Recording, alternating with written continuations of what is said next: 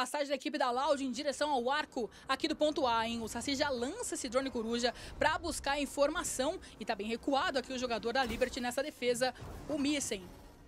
Vem brilho de impulso, opção das brumas, já ganha espaço agora a equipe da Loud para tentar esse plant, o Saci vai pro plant. Já tem rotação também da Liberty pra essa defesa. Olha só a fúria do caçador, do Crane. Vem o ultimate, anular semilha também já ativado. O Crane traz a kill pra cima do Saci.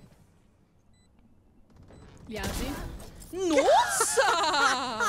que isso?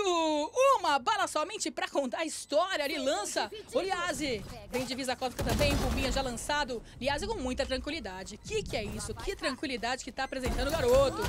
Sadak. Opa, parado pelo Sadak. Nada de reggae. Situação agora é de 3x2. Olha o Sadak também. Que que é isso, Sadak? Meu Deus! Olha o homem o que tá causando. Vai puxando. Agora somente um jogador e o de highlights, Paca! Meu Deus, o que nós estamos presenciando nessa série. Olha os highlights que a Loud tá trazendo. Les de um lado agora, Sadak. O que o Manito jogou, meu Deus, o round estava decidido para Liberty. E o Sadak, mais uma vez, mostra porque é um dos melhores jogadores brasileiros.